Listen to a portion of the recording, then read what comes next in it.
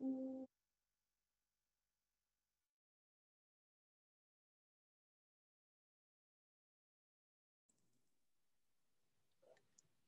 evening, welcome.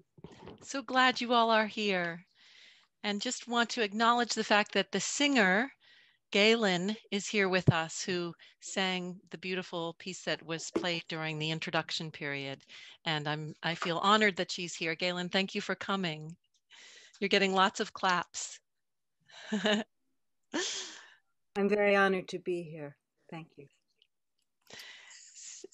So I, my name is Pamela Patton. I'm the director of pastoral ministries at All Souls, and I also run the Buddhism, also run the Buddhism and Mind. Sorry, I'm suddenly echoing. Um, I also run the Buddhism and mindfulness programming, and of course, as you've noticed in our material promoting the event. Buddhism and Mindfulness at All Souls is co-hosting this event with Musica Viva New York. And it's been a great honor for me to work so closely with Musica Viva. I've never done that before. And it's been a lot of fun and interesting and um, mind expanding. So Buddhism and Mindfulness is a program that runs uh, several uh, different sessions per week on meditation, on mindfulness. We have guest teachers on a pretty regular basis. We're running a course on dealing with difficult emotions. Dr. Pilar Jennings will be teaching that. So we have lots going on. I won't go into more detail, but you're most welcome to email me at pamela at allsoulsnyc.org to learn more about it. I'd love to hear from you. And then, of course, our co host of this program is Musica Viva New York, which is a program that was founded in 1977, also housed at All Souls Church. It's a chamber choir presenting a, bo- a broad repertoire of new compositions and classic masterworks. The mission is to bring world class music to a widening community through its annual concert series, outreach programs, and an ambitious artistic vision. So tonight we'll have a discussion among the three panelists, Richard, Alejandro, and Trent, and I'll be just sort of conducting the flow of it, but um, you'll mostly hear from them. And we'll have time for your questions. So you can put your questions into the chat in the meantime, and I'll keep track if you'd like to do that, or you can wait and just ask by raising your hand after we finish um, we finish the discussion. So please do think of questions. We'd love to hear them. So we'll begin by having each of the panelists introduce themselves. We'll start with Alejandro Hernandez Valdez, who is the conductor and artistic director of Musica Viva New York. So Alejandro, go ahead. Hi, everyone. Um, uh, as Pamela was saying, um, I am the artistic director of uh, Musica Viva NY and of All Souls Church since 2015. I also uh, run a music festival in Texas, uh, the Victoria Bach uh, Festival, and I've been doing that since 2017. And I also uh, co-founded and I'm the artistic director of the New Orchestra of Washington in Washington, D.C. And it's a great privilege to be able to, to share this time with, with all of you. I wish we had time to hear Alejandro's whole life story, which is amazing. I've had I've had the chance to hear him speak a few times. So that was a very succinct um, uh, capturing of Alejandro's responsibilities and talents. Trent, who is the assistant director and organist for Musica Viva, would you introduce yourself, Trent?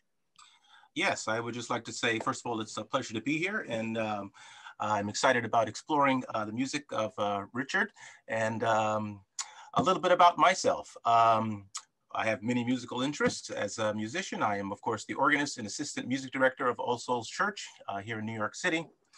Um, I am also uh, the music director and conductor of the Oratorio Singers of Westfield, New Jersey. It's a, a choral organization that performs uh, traditional masterworks as well as little known pieces, as well as a lot of world premieres.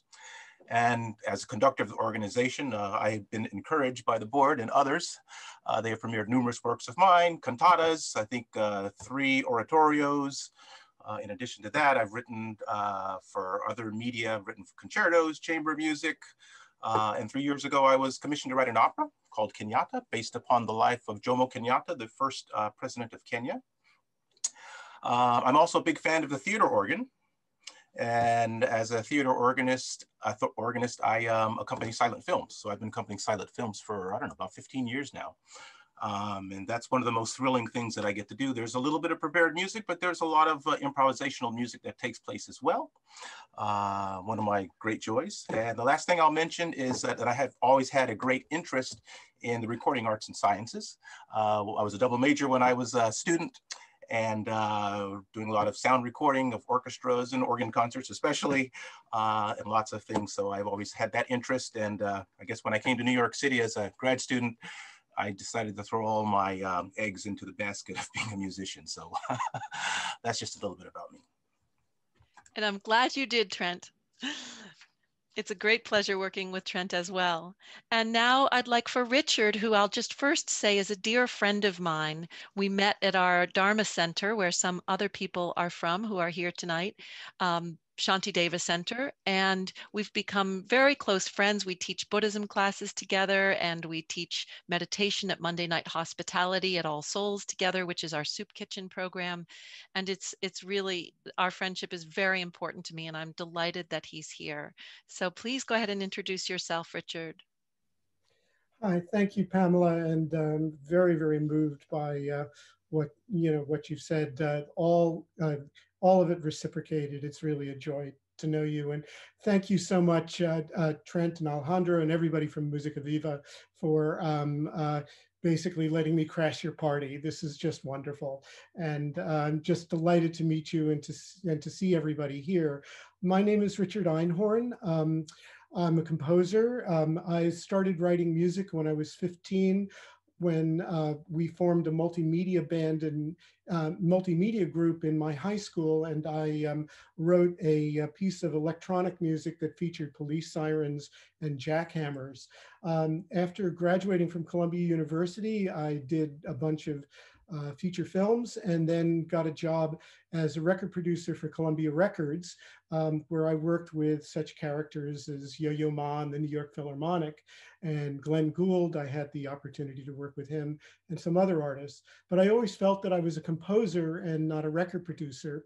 And so uh, uh, after about five years, I quit and I've been freelancing as a composer ever since. Um, you'll hear some of uh, two of my major pieces uh, tonight, and and uh, a couple of other pieces that are that are that are shorter.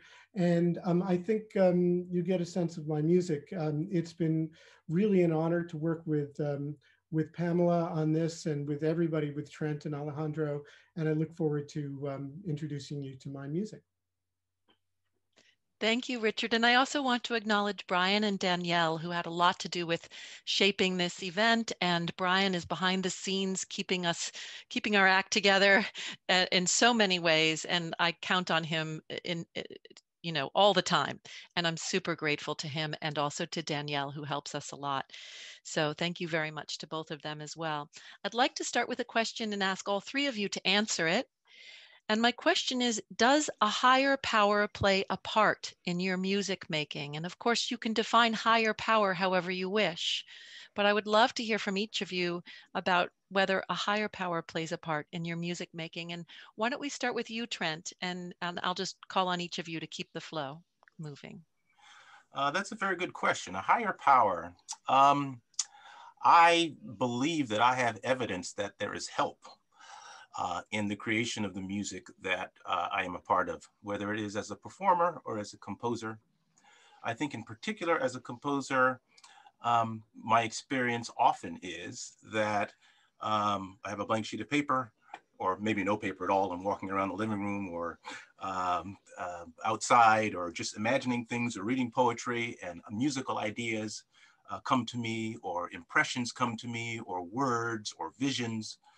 Um, and from the, that kind of uh, impulse, I begin to write and I use uh, whatever training that I have uh, uh to form these ideas into something coherent and that is satisfying, at least to me.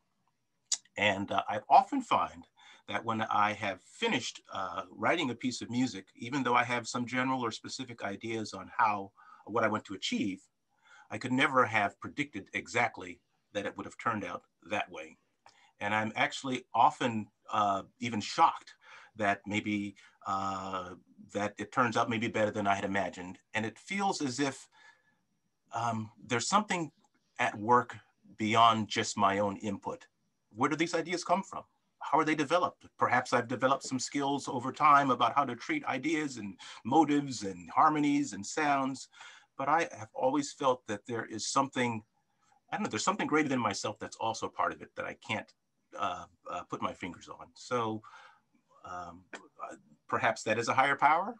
Uh, perhaps it's, it's some intuition. Perhaps it's uh, something that uh, I've experienced in the past and is brought to the fore. I don't know, but I, I feel like I'm not alone in the process, certainly, of writing music. Thank you. Thank you. And how about you, Alejandro? Well, I, I, I do believe in higher power, and I think it manifests itself uh, through nature uh, through the innocence of children, the wisdom of older people, uh, and definitely through music. I think music is a manifestation of a higher power in, in my view. And I have a hard time separating the two. To me, spirituality is music and music is spirituality. And, you know, there's a, a quote by Beethoven. Um, he, he, he said that, uh, uh, how did it go? Spirituality or rather music is the uh, mediator between spirituality or the spiritual life and the physical life. And i think that is very true. So i think anything that has to do with with with music is somehow connected to to a higher power. And again within music the manifestation of that maybe just the inspiration of a moment um, uh, perhaps as Trent was saying you know uh, something that motivates you to write a beautiful phrase or maybe a beautiful movement or or or just you know that magic moment that you find yourself in when you're uh, a musician a performer and everything kind of falls into place. And you do see god if you want to call it within those moments you know you can you can almost touch it. It's it's very present it's quite lovely to hear you talk about it um, Richard, how about you? Oh boy, how am I supposed to follow that? I don't know. I, you know, um, it's it's it's very odd. Um, I've written pieces about um, uh, Saint John of the Cross, uh, Joan of Arc, of course, um, Saint Francis, which is what um, uh, Galen's beautiful piece is about. Uh, the the uh, the beautiful singing of Galen's piece, of course. The the um, uh, I've written I've written also um, all sorts of other pieces um, with spiritual uh, um, subjects, and I, I, honestly have not really thought about the issue of whether or not uh, where the ideas come from in terms of a higher power or in any in anything else. I'm just uh, what I can say is that there are times, um, well, it's kind of like um, what something that Stravinsky once said about the rite of spring. He said, I am the vessel through which the rite of spring passed. Um, in other words, he kind of is sort of looking and observing at uh, a process that's taking place outside of him. And he has the privilege and the honor of kind of writing it down in a certain sort of way. And on those rare moments when I've come close to that, it's one of the most extraordinary and uh, experiences of my life. You know, when you're just in the zone and time slips away and you just simply don't even know what happened. Um, if that's a higher power, if that's evidence of a higher power, so be it. But um, I, I think that for me, the the the where I am focusing on is just trying to get into that zone, and that zone is very um, is um, something that I've only been privileged to have a few times. And boy, I would like to get back to that. Thank you very much. I wonder, I, I, wondered how you would respond in particular, since we share a spiritual interest in Buddhism, um, if you would incorporate the Dharma at all in that, but but um, no no pressure. I would definitely say that it is a that it is a function of causes and conditions, and that it is definitely dependent on uh, on on uh, on things that are going on in a very very very subtle and interesting way. The the you respond. I, I respond to music, and often the original idea is just a starting point, and sometimes that idea gets turned around, flipped around, um, turned around and flipped around and then processed in all sorts of ways. And the way in which that happened is um, uh, very, very much dependent on all the conditions that are going on. So I guess if there is a dharmic connection, it's that for sure. Great. Well, thank you for elaborating with a little little uh, bit of Buddhism in there. Um, so now what we'll do, as promised in, in uh, when we advertise the event, we're going to share some of Richard's music. And we're going to move now to our first piece that we'll share, Maxwell's Demon. Richard will introduce it, and then we'll share it with you. And then Alejandro and Trent will respond to it. So please go ahead and introduce it, Richard. Terrific. Yeah, um, I had um, just finished um, writing a group of pieces, I've become very interested in um, spirituality and religion um, as a subject matter for a variety of reasons that maybe we can get into later. But I had started to do a lot of research on Christianity and then ultimately Catholic mysticism. And um, I was quite taken with the life of, um, of uh, St. Francis of Assisi. So um, I wrote a piece for my friend Galen, Galen Brandt, um, for four voices, and Galen performed all the piece, parts of that. But I also wrote pieces um, based on other um, Catholic mystical subjects, and I needed to take a break. And I remembered that I had an idea, which was which was a very strange idea, a musical idea. What would a um, what would a violin sound like if, in fact, it was really a rock and roll drum set in disguise? And uh, this idea haunted me. And then one day I met a violinist who early in the evening she would play with her rock band and then late at night uh, uh, early in the evening she would play um, beethoven concertos and then late at night she would jam with her rock band. And i said this is exactly the kind of person i need to write a piece for. And that became maxwell's demon. Um, there's actually four of them. You'll hear number four. And um, much to my astonishment and mary's astonishment mary rowell's astonishment uh, the violinist it ended up being choreographed for the New York City Ballet and became the, the score to a beautiful ballet called Red Angels. And I think um, that probably should suffice as an introduction. It became a hit ballet quite, quite unexpectedly. So we'll show you the, the ballet and of course you'll hear the music. I just want to warn you that the video is blurry for the ballet. We were not able to get a really crystal clear video, unfortunately. So you'll have to use your imagination a little bit, but the music of course will be fine and you'll hear that just fine.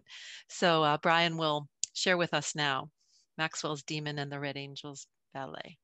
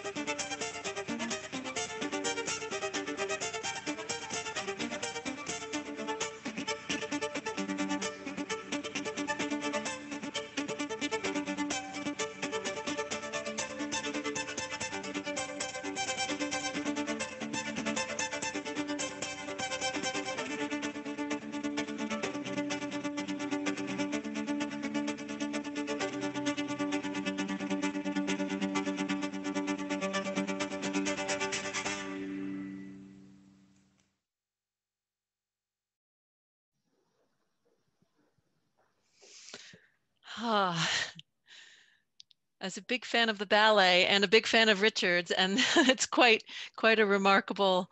I've seen it many many times, and, and I enjoy it very much.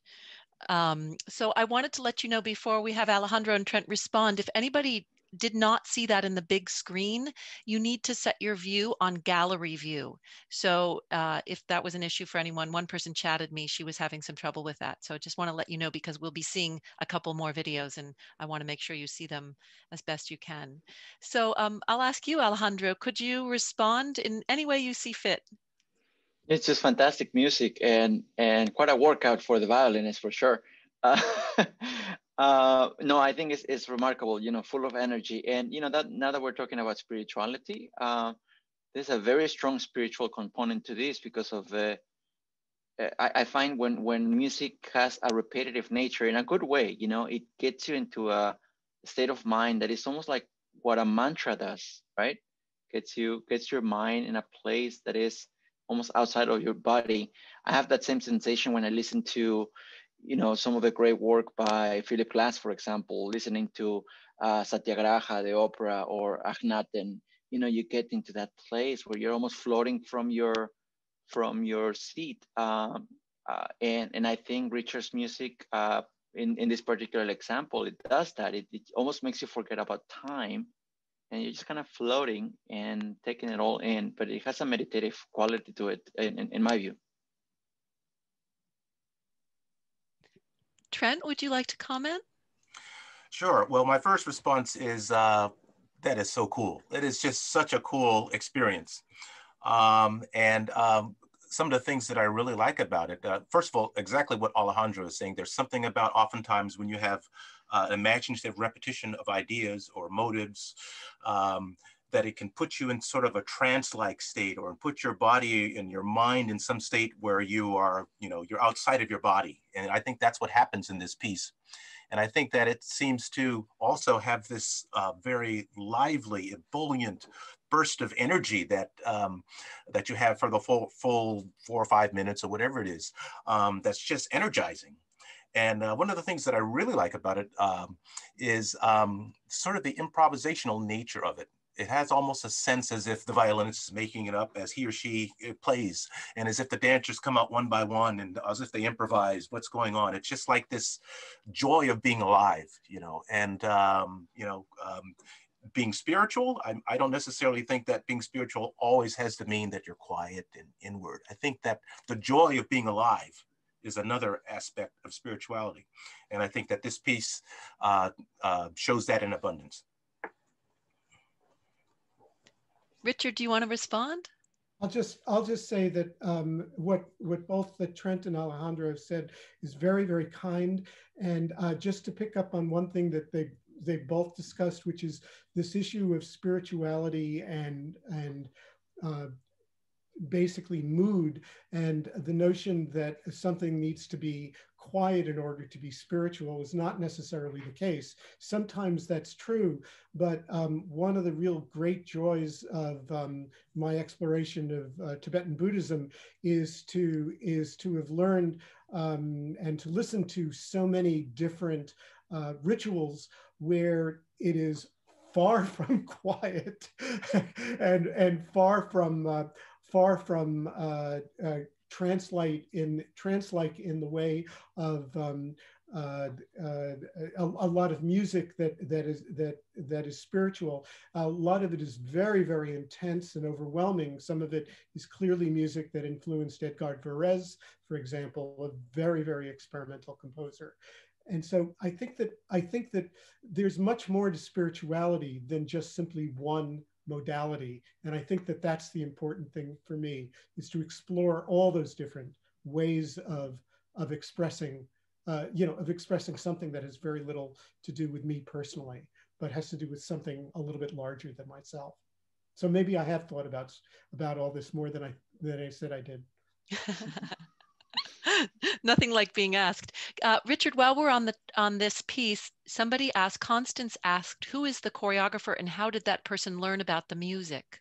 That's a great question. Uh, the choreographer is Ulysses Dove, and I'm sorry that I didn't mention his name earlier. He's a, brill he's a brilliant uh, choreographer. He tragically died in his 40s, and he um, uh, he heard about the he heard about the music through his manager, who just turned out to who who was a personal friend of mine before before she started to manage Ulysses. And I gave her a tape of, of my music.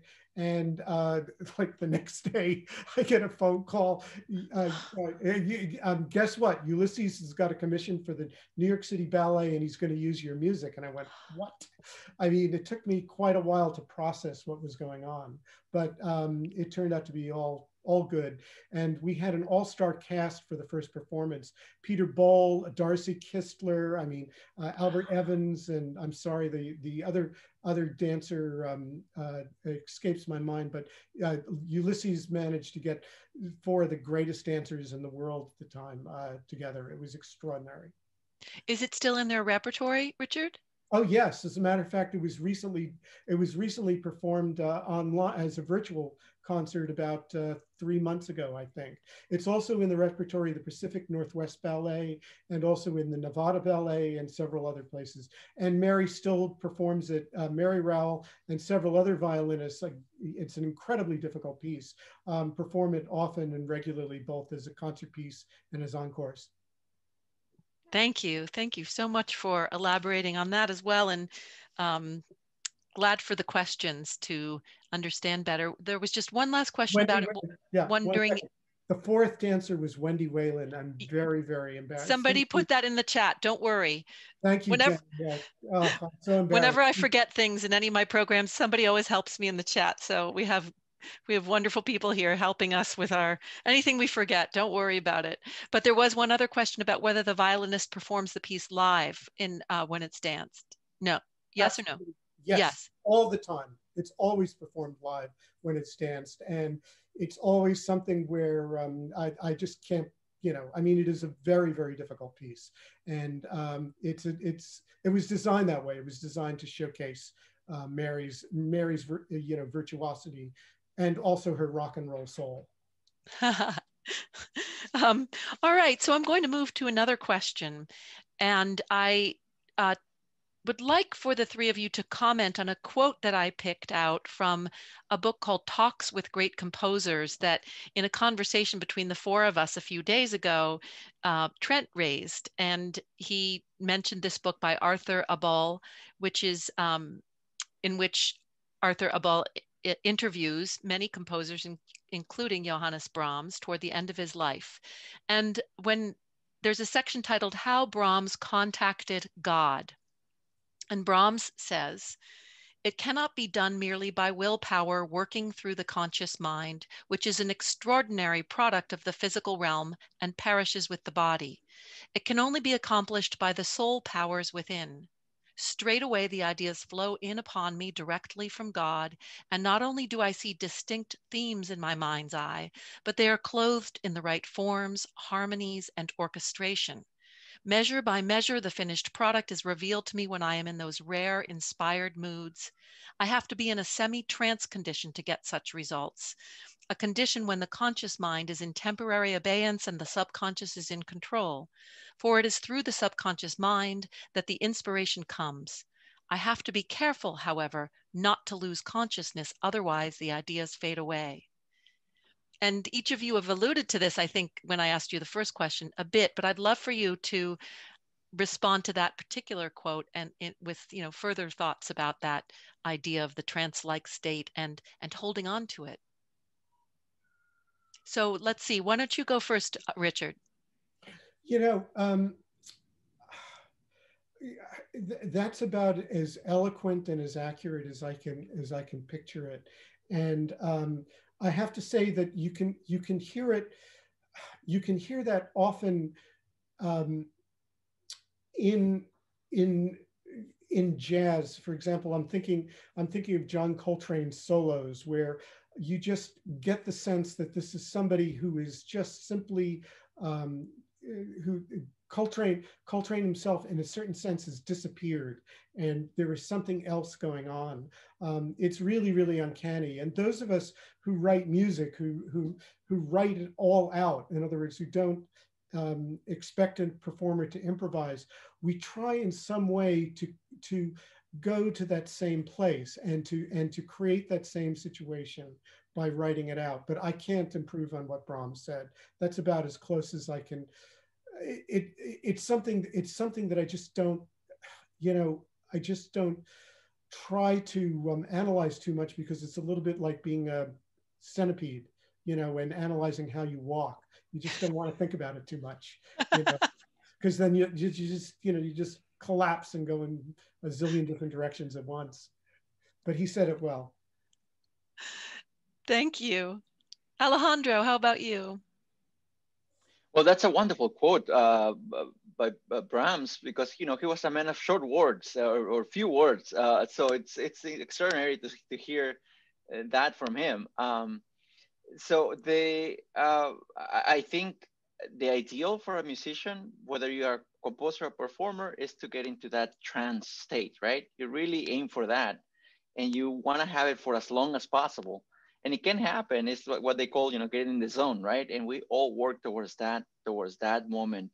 And you know it, it has become such an obsession for musicians that as you all know during the 60s and the 70s a lot of musicians actually used uh, enhanced uh, uh, techniques let's put it that way to get into a trance uh, because that is ultimately what you're wanting to do that usually has diminishing returns, unfortunately. So that's I don't recommend it at all. Uh, but uh, definitely, what what you're trying to do as a performer, as a composer, is to get into that that frame of mind, which which is doable if you if you focus on the right things. And you know, I've composed very little in comparison to what what Richard and Trent have been able to do with their uh, life as composers. But but I've I've had moments where I do feel like there's certain trance, and there's that famous anecdote of of uh, of Handel, right, when he wrote Messiah in just a few days, that he locked himself in a room and he came out,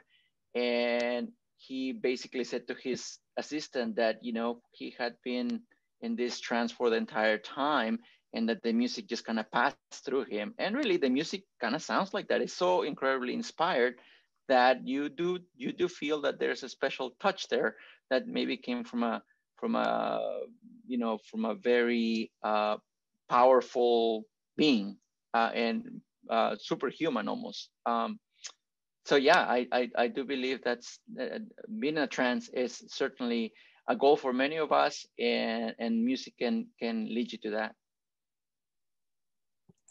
You know what? Just one second. You know what helps to induce that kind of state is a tight deadline. Absolutely. so what, what was the quote by Bernstein? He said, uh, for great things to happen or something like that, you need uh, you need a, a, plan and not quite enough time or something like that. Absolutely. Yes, I, I do think that that is a great quote from uh, Brahms. I, I do wish though that um, uh, that a higher power would speak to me with such clarity about orchestration, harmony, non-musical ideas. I seem to have to struggle for each one of those. Um, but uh, it's interesting how he mentions, and I remember reading uh, that book for the first time and, and, and, and reading that passage and similar passages from other composers. And I was like, wow, somebody else also experiences this? This is incredible. Um, and dare I say, I mean, Alejandro mentioned the 60s um, and the 70s and the current day and how, um, how being transported to another place while you're creatively working uh, can be so otherworldly and productive. I mean, there have been times, uh, uh, creative period times where you don't eat, you don't sleep, time goes by so fast, you don't even realize the world that's going around, going around you.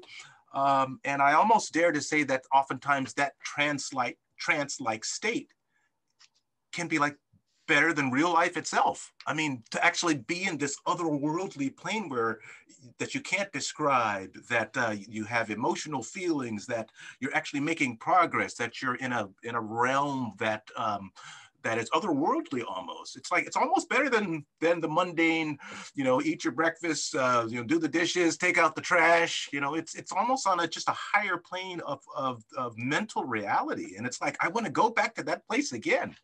Um, but I think I do believe uh, that Richard is right. Deadlines do help uh, induce that state because it's it's while you're working, and it's and it takes a while. I find for me, it takes a while to get to that place where you're so focused enough that you're able to uh, to work creatively. Um, and oftentimes, you can spend minutes, hours uh, not productive and not being able to reach that state because the phone ring again, or there's a text message, or you know, uh, I mean, for me as a composer, the most productive time is between 10 p.m. and 2 a.m. Why? Because I can get into that zone. The phone doesn't ring. The, the, you know, everyone's asleep. I've already eaten. You know, so um, it's it's sort of accessing uh, some place that um, that mm, uh, makes you become the best that you can be and then when it's then when you've written it down and you've experienced it, it's like where did that come from? I, I just wrote it down, but how did how did it all come together to be uh, something so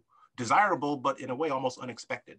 So um, it's a great quote, and um, I look forward to going to that place again sometime in the future.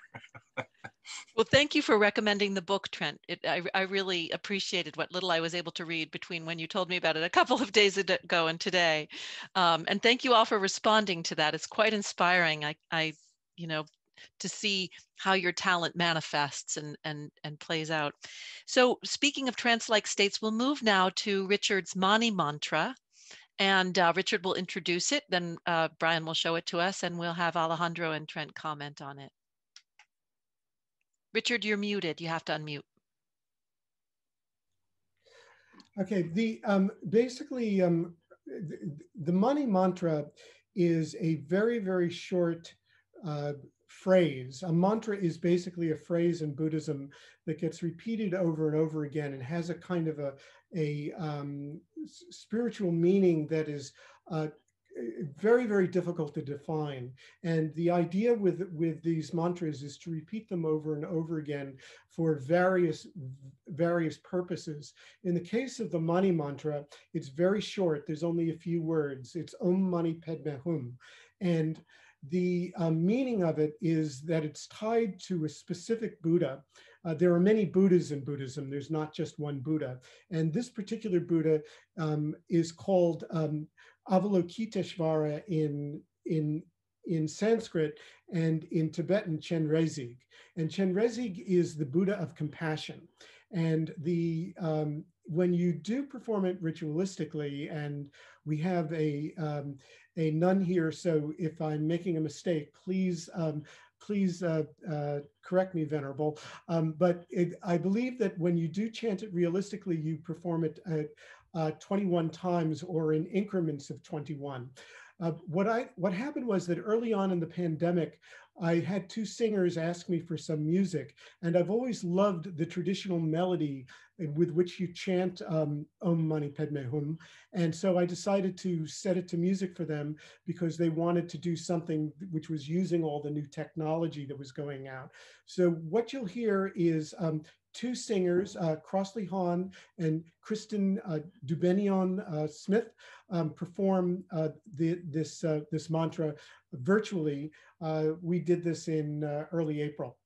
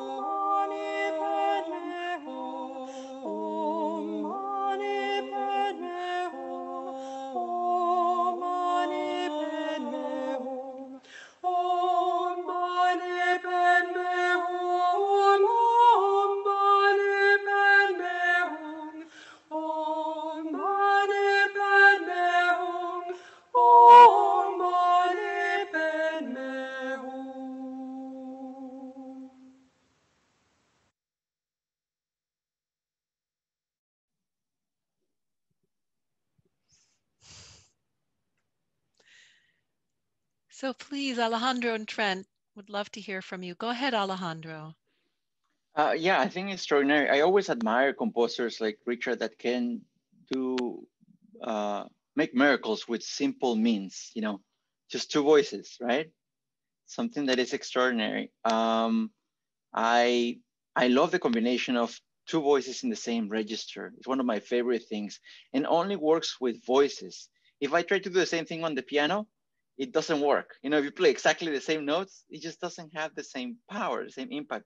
So it goes to show you the power of the the, the, the human voice has. Uh, one of some of my favorite moments in uh, moments rather in music uh, have have to do with that. Uh, two treble voices singing the same register in very close intervals, either uh, you know sometimes in unison, sometimes a minor second apart, or um, uh, I don't know a major second apart. Just just very close together and I, I can tell you uh, portions like uh, Abraham and Isaac by Britten, when when God speaking to Abraham had have that quality, or uh, Satyagraha when when Nefertiti and and sorry, Akhenaten, pardon me, Akhenaten and Nefertiti are singing with each other. Akhenaten is a, a countertenor and Nefertiti is a soprano, but they're singing exactly in the same register.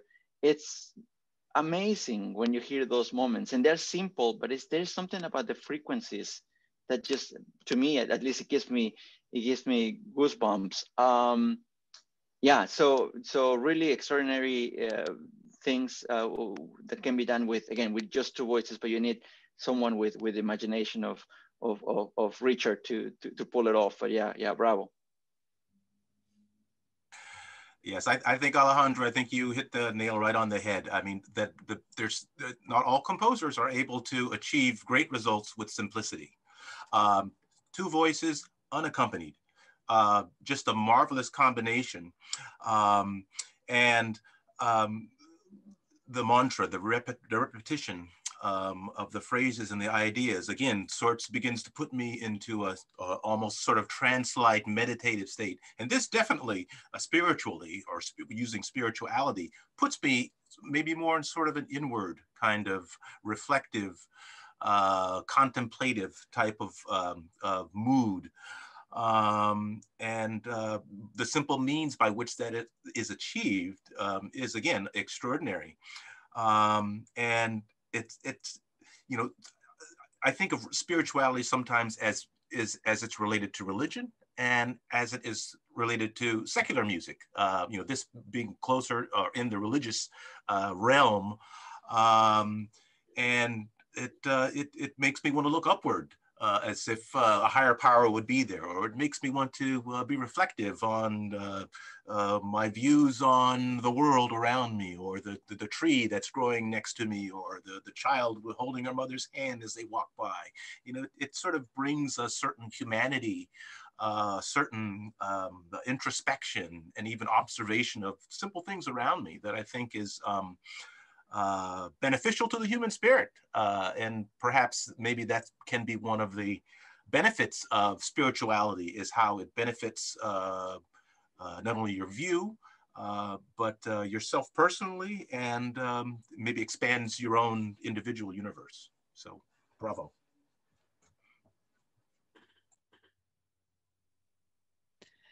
So maybe I think what we'll do is move right into Voices of Light, Richard and have you talk a little bit about Voices of Light, and then we'll show that and and uh, hear from Trent and Alejandro about it, and continue with some questions. Sure, sure. Um, Voices Voices of Light is um, a piece for um, basically um, everything but the kitchen sink. And if I could have figured out how to make the kitchen sink portable, I would have included that as well. It's got um, four female singers, four female medieval singers. Um, uh, I'm sorry, four singers, soprano, alto, tenor, bass, four medieval singers, um, soprano, soprano, alto, alto, uh, an immense chorus, a large orchestra, a silent film, and a digital sampler.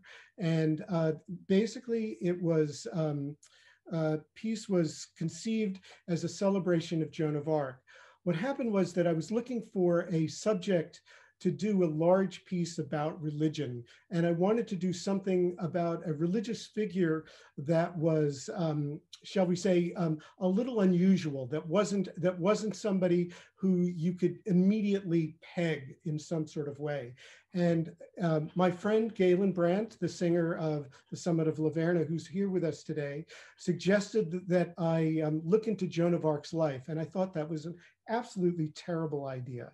Um, I thought I didn't know anything about Joan at all, um, but I kind of put the idea away. And then I was researching a completely different piece in the Museum of Modern Art Film Archive, and I saw a still from the film and uh, from this film called The Passion of Joan of Arc.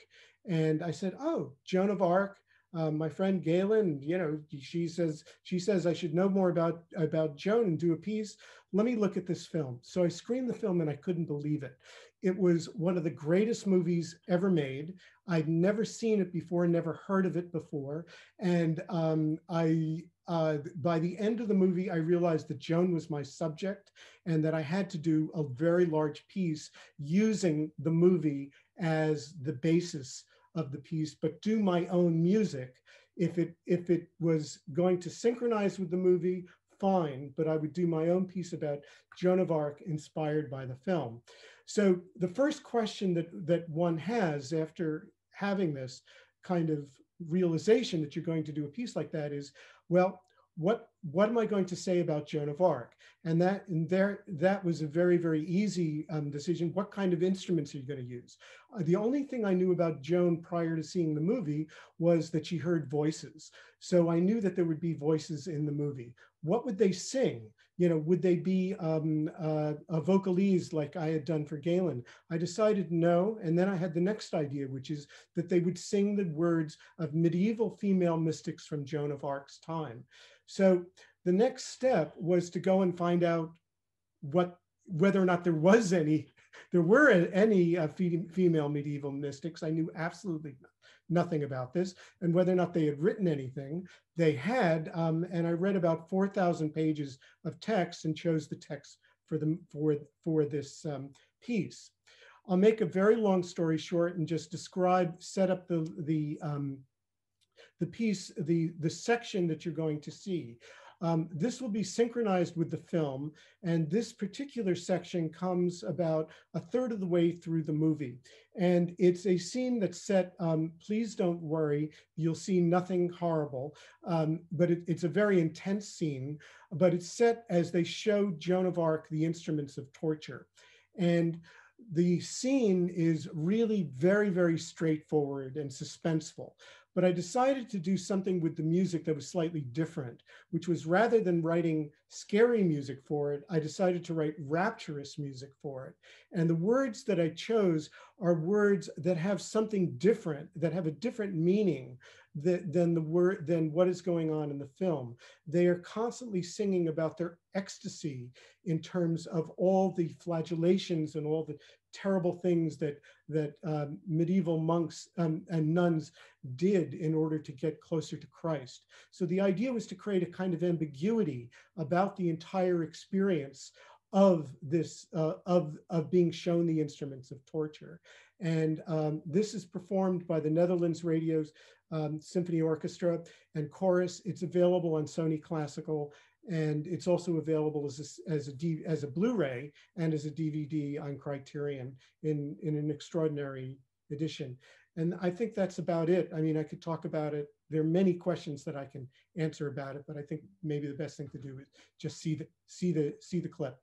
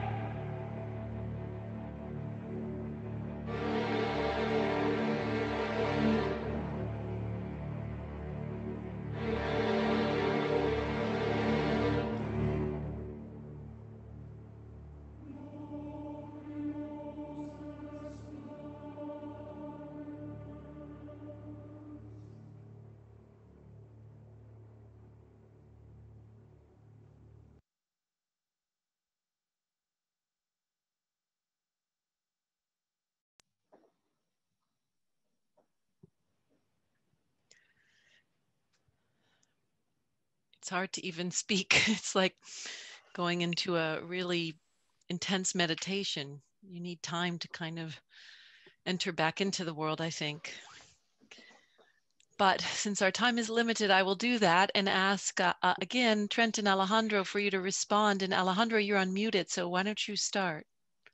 Uh, yeah, it's very powerful. Um, almost hard to watch because you know it's it's it's uh, it's a historical fact, and and it shows the just the, the, the brutality that that humans are capable of and also the the terrible treatment of, of women through through history. And it's all that kind of coming together in one place. Uh, and the only thing that saves it is the beautiful music that you know it's so it's so it just takes it to a you know to a different place a place of transcendence. And i think that's what perhaps uh, uh, I could be wrong, but maybe uh, Richard was aiming for, and he he achieved. You know, you you forget about the, those instruments of death, and you think about the transcendence that he's that that the John of, of, of, of our excuse me is going through in this experience, which I think is extraordinary. Um, I remember, and it's just a personal anecdote. When I was a teenager in Mexico, um, I uh, probably uh, I regret this, but but I, anyway, I went. It was an exhibit of medieval uh, torture instruments in going around uh, the country, and I happened to go and see it, and I just couldn't believe it. I just couldn't believe what again what humans um, are capable of, and and how um, I guess well the church in this case kind of ripped apart spirituality from from religion. Just it just it took it just took it all from took it took it away from religion. I mean, the religion became became meaningless because you know how how can you find anything more distant from from spirituality than than than that torture? It's just the most awful thing. But again, just going back to the music, um, it's just uh, I think they put you in a in a in a in a, um, in a trance of sorts. You know, this sublime music that that it's more powerful than than the, the act of of torture. I don't know if, if that makes sense. You know, it just the music transcends even even that.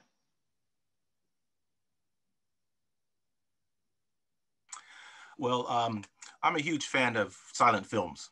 Um, as I mentioned before, I've accompanied lots of silent films, and I think that modern audiences would be um, pleasantly surprised, at least those who are open to it, at how extraordinary uh, silent films, or I should say the best of the genre are.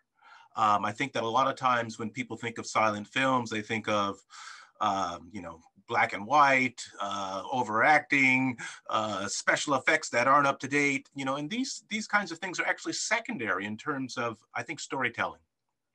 And one of the important things I think in storytelling when it comes to silent films is that the music can, can make or break the film. And I have certainly, uh, I have a huge CD collection of films, uh, this one included.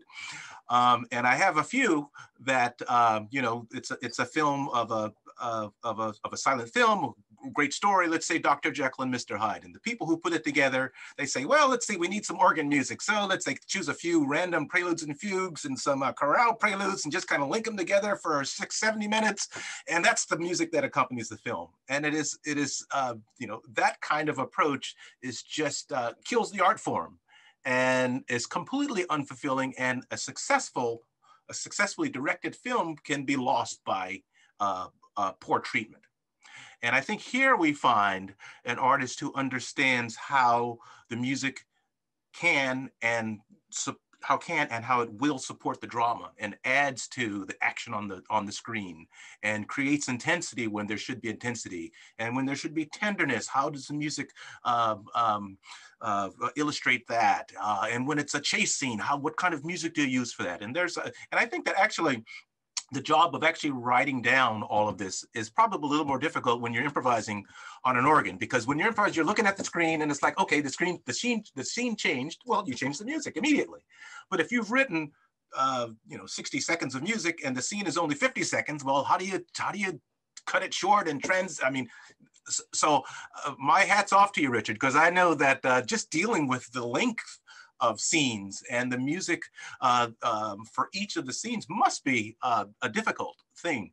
Um, but I think that your use of instrumentation, your use of voices, your use of percussion, uh, those kinds of effects in this particular scene and also throughout the entire uh, silent film, which I have seen several times. Um, I think it's it, it adds to the drama. It makes it more real. It makes the story come alive. It makes you almost a witness to history because of the success of the marrying of music and the film itself. So uh, hats off to you for, uh, for creating a, a fine work of art.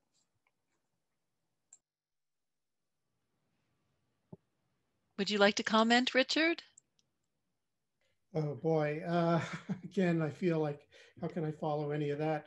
Um, the, what I can say, uh, what I'll say is this, that um, it was a an experience that changed my life um, completely. Um, writing this music um, and uh, getting it performed, there there is so much, you know, um, buried in Dreyer's film. Carl Theodor Dreyer is the director. That performance uh, by Joan, uh, the actress is Renee Falconetti, and uh, she is. Um, that performance is one of the most studied performances by an actor and has been often used as the basis for many other things. The, the film is really extraordinary in itself. For me, um, getting to know Joan of Arc uh, quite, quite well, if I may say so, I, I really went on a journey for this.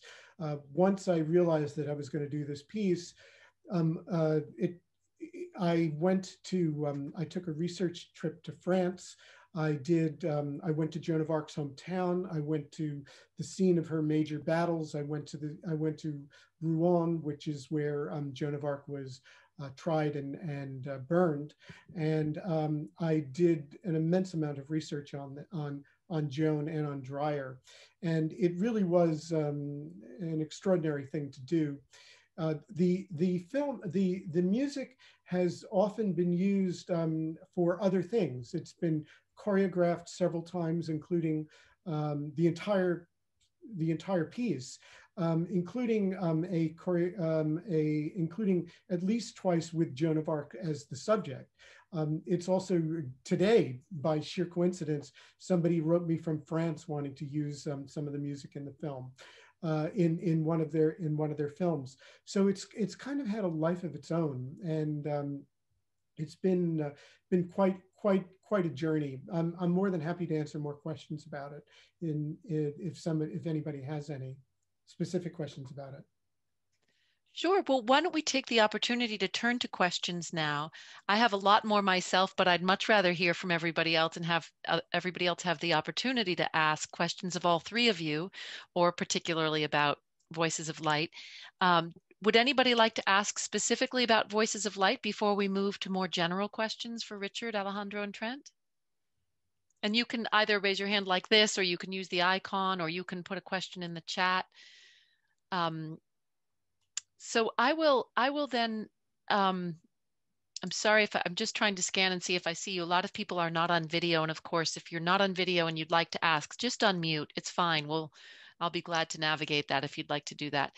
But I do have a question in the chat that was sent to me from Venerable Tenzin, not specifically about Voices of Light, but she would like to know, I think from all three of you, although Venerable, you can suggest if there's somebody in particular you wanted to ask. She writes, writers sometimes say that doing daily writing, inspired or not, is almost like doing push-ups, preparing your mind for the times when you will be in an otherworldly place. Do you experience something like that? So Richard, why don't you start? Venerable, hello. How are you? Uh, uh, Venerable Pel Young's with our with our um, Dharma Center and uh, most treasured treasured friend. Um, the um, it's funny you should mention that uh, because I just wrote an article about um, how I do morning pages every morning, and I get up and the first thing that I do, um, even before meditation, is write three pages a day, uh, longhand uh, words. Um, but yes, absolutely. Writing every day is, is writing every day, composing every day is critical. I wish I could say that I did that every day, but I try to. And I notice that, that if I'm writing for um, a week, uh, for two weeks, for three weeks at a time, oh, it gets so so much faster. It really starts to flow because you're just constantly familiar with your, you know, the ideas that are coming through. Uh, I think for myself, um, I wish that I could have that daily discipline. uh, I know that I've had that discipline when it comes to, you know, playing a keyboard instrument, keeping your technique, exercises, scales, uh, repertoire, keeping your memory fresh. Um, I think that um, there's so many, I have so many interests uh, in music and without of, out of music that I, I, find that sort of daily discipline of composing to be not so um, uh, the best way for me. Uh, maybe I'm a binger. I won't write for a week, but then I'll disappear for three months. and then when it's over, I've got, you know, 40 pages of something. Uh, so, you know, they're different styles and that seems to work for me. And it's interesting. I could be writing a piece and spend, you know, six weeks on it and then put it aside and then come back to it after four weeks. And it's like I haven't left. So somehow my brain is able to maintain a connection there. But I think I might consider myself more of a binger. I, I just, um, it's all for nothing kind of thing. That's, it just seems to work for me.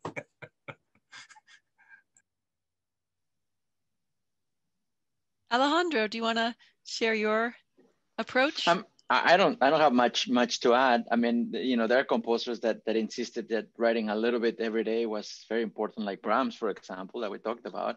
But others like Mahler that were extremely successful only wrote during the summer. Mahler wrote all his great symphonies, all, all nine of them, and part of a tenth during the summer. That's all he had time for because he was conducting all over the world all the time. So the summer he would rent a hut somewhere with a lake in front of him and a mountain behind him and just disappear, as Trent was saying, for three months and then come up with something extraordinary.